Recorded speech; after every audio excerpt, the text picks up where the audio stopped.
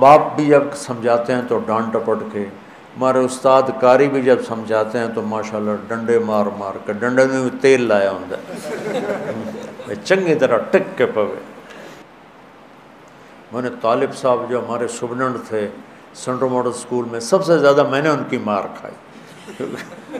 वो ऐसे टका के मारते थे ना, एक हाथ यहाँ रखते थे और इतना बड़ा होता था सेफ़ जिसमें वो सोटी पड़ी होती थी। और खालिद मेला मेरा जिगरी यार पचपन साल से मेरी उसकी, उसके ज़िम्मे होता था डंडा निकाल के लाना। तो डंडा लाने वाला मेरा यार होता। और ऐसे अंदर उतर जाता था वो डंडा।